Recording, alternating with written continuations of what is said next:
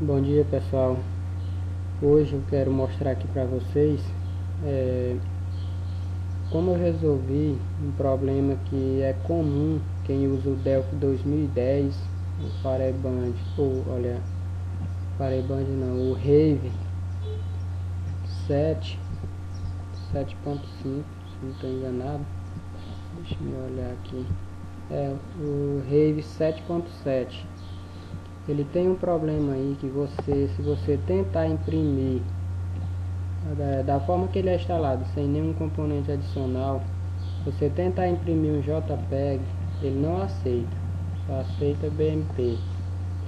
Então eu me deparei com esse problema, eu já estava com a aplicação, os relatórios prontos, tudo ok, quando eu fui imprimir não deu certo.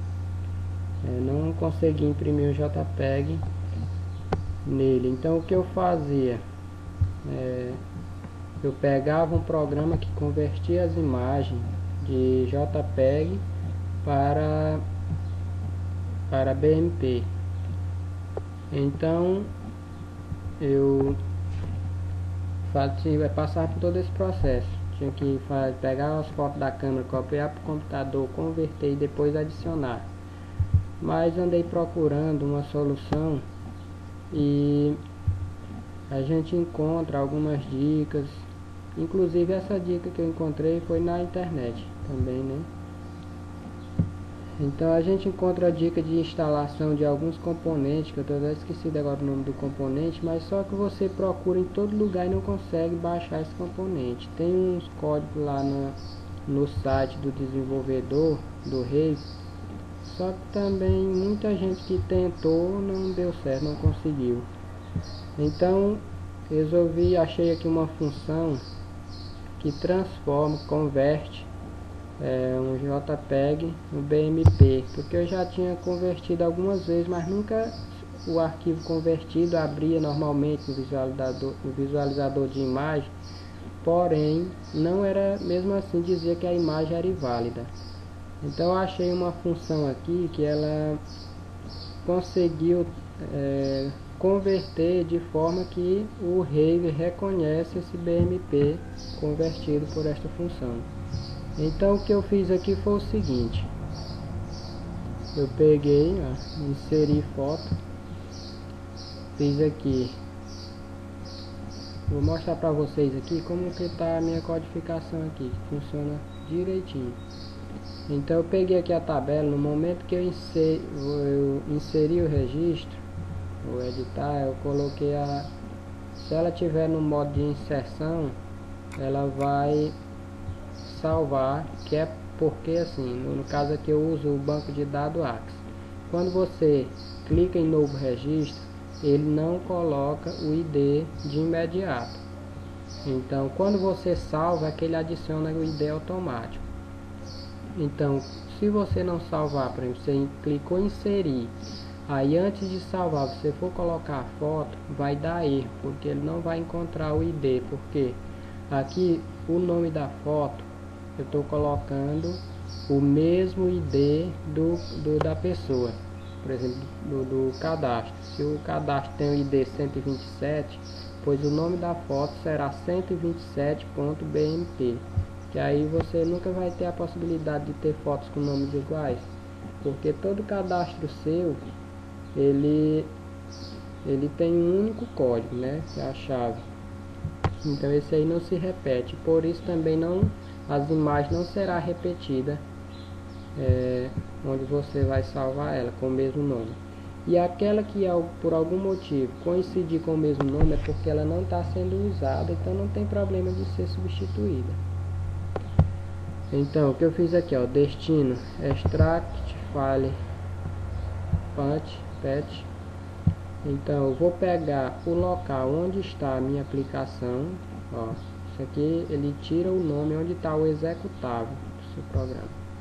Então, ele tira e adiciona mais fotos, porque lá dentro dessa pasta tem uma pasta com o nome fotos para ser salva lá dentro. Então, esse aqui eu converto o inteiro lá, no caso o número, numa string. Ó, na verdade não é... É, eu pego o número e coloco dentro de uma string aqui, porque o nome da foto ele é, ele é texto, ele não é número. Então você tem que fazer essa conversão aqui, o inteiro dentro da string. Aí eu pego a função que eu falei pra vocês, ó. Alimento ela aqui. Então, origem e destino. De onde vem a foto? Do meu Open diálogo aqui, que no caso de, de abrir imagens aqui. Então, através dele aqui eu pego o endereço da foto. Quando eu abro lá aqui, seleciono, ele pega o endereço completo, joga aqui na função, que a função quer saber onde a foto está e para onde ela vai. Então o destino tá aqui, ó, o destino eu já peguei aqui, ó, completo. É, inclusive com o nome, que o nome vai ser o código do registro, como eu falei para vocês. Então aqui, depois que eu peguei a origem e o destino, aí eu abro a tabela, coloco no modo de edição, que na verdade ela já está aberta. Isso aqui a gente coloca só como segurança, né? Porque se você já vai substituir, inserir a foto, você já selecionou o registro. Mas não faz nenhum mal você deixar de repente não ter nenhum problema.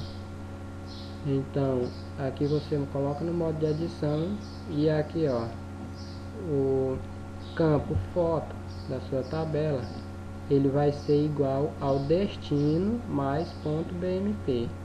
Olha aqui ó, salvei na tabela onde a foto vai ficar.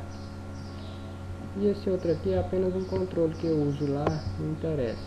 Isso aqui é o, a parte que interessa para inserir a foto, então você salva. E agora vamos ver o que, que a função faz. Ela está aqui lá embaixo.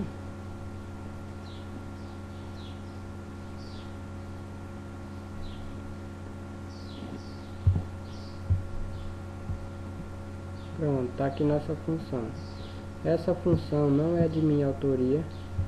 Eu não sei quem é o dono dela. Quem desenvolveu, se alguém de repente for o desenvolvedor dessa função aqui, quiser mandar um e-mail, alguma coisa assim, eu coloco lá na descrição do vídeo dizendo quem é o autor desta função. Eu não sei, por isso não vou colocar o, o autor da, da função aqui.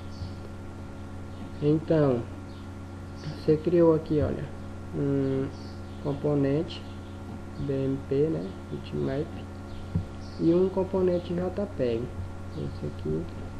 Então, eu não vou detalhar aqui exatamente bem direitinho, porque ela já você já vai encontrar ela prontinha, é só você usar. Mas aqui você vai ver se tem algum alguma imagem existente já nesse caminho que você que a gente já alimentou lá na hora de inserir a imagem. Então aqui é o caminho JPEG vai ser aquele lá do Open Picture não sei pronunciar exatamente mas aquele lá do nosso Open Dialog ele vai alimentar isso aqui ó essa variável. Esse outro aqui vai ser aquele lá o destino que a gente está alimentando lá também então ele vai ver se tem uma imagem existente. Se caso não tenha, se tiver no caminho, né? Se você carregar a imagem, ele vai fazer isso aqui. Ele vai acrescentar a extensão, porque agora ela vai ser salva com essa extensão aqui. E aí você vem, eu colo acrescentei na verdade aqui na função, porque ele tava, essa função estava assim. Se tivesse um arquivo igual, ele não ia substituir, não ia fazer o processo, somente se não tivesse nenhum igual. Só que, como eu falei para vocês, se tiver uma com o mesmo código, é porque ela não está sendo utilizada. Ou se está sendo utilizada, você está querendo substituir. Então, no caso, como ela estava, só era possível incluir uma nova imagem, não era possível você alterar, por exemplo, outra.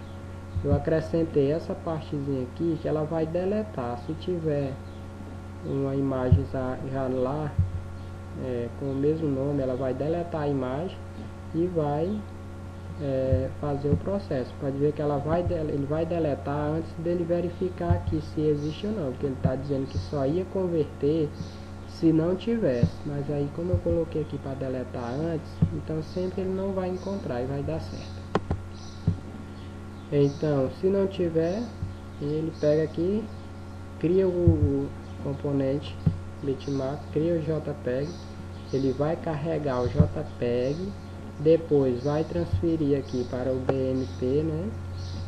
O JPEG, ele vai carregar no BMP, ele vai carregar o JPEG e depois vai salvar com a extensão BMP. E o resultado vai ser lá dentro da pasta, no local que a gente colocou o destino, ele vai salvar ele lá e aqui você libera da memória. Então é isso aí pessoal, agora vamos testar para ver como está funcionando. Então aqui você insere, isso aqui é um programinha de carteira que eu fiz aqui para nossa escola, para geração de carteirinha.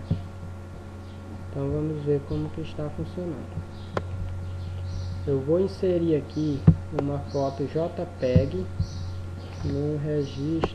Deixa eu ver se tem algum registro aqui que não, não tenha o nome do aluno.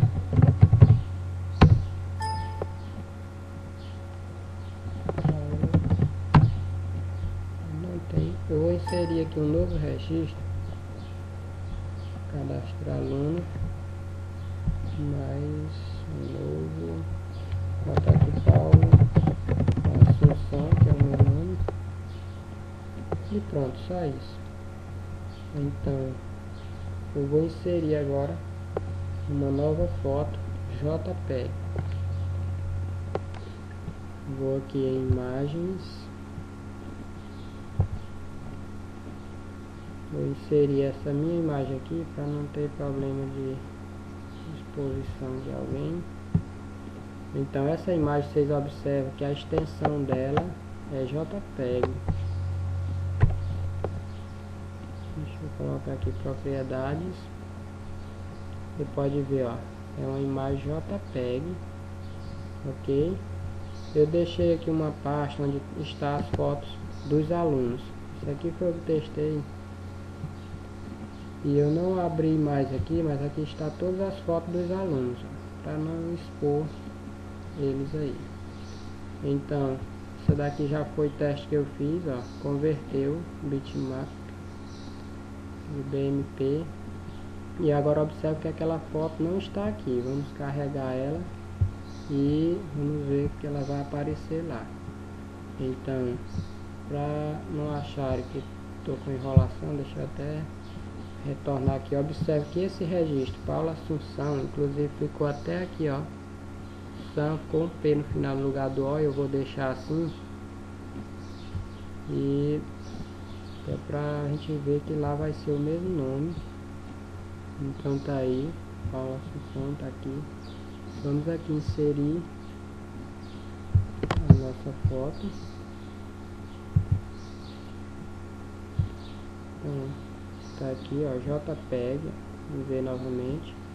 Eu vou abrir ela. Pronto, carreguei a foto aqui. Então tudo certinho, registro já foi salvo, tá tudo ok. Agora vamos para cá para expedir a carteirinha. Eu vou pesquisar aqui novamente.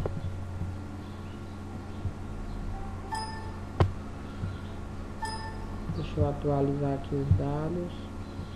Ele vai carregar aquela. Pronto, tá aqui ó. Paula Assunção, observe que até aqui tudo bem, o programa carrega, seja qual for, o BMP ou qualquer um ele carrega. Vamos deixar aqui apenas a que a gente vai imprimir e vamos imprimir aqui. Gerar essa carteirinha. Então tá aqui pessoal. O JPEG foi convertido no BMP e ele está aqui carregado no rei. Então, para quem procura, está procurando uma solução, e vamos ver aqui naquelas imagens, observe que ela apareceu aqui. Vamos ver qual é o código lá do registro. Fechar aqui. E o código do registro é 465. Observe que ele salvou exatamente como a gente gostaria que tivesse salvo. Então tá aqui ó, 465 e a extensão dela, vamos olhar aqui na propriedade, visualizar melhor, tá aqui ó, BMP, viu?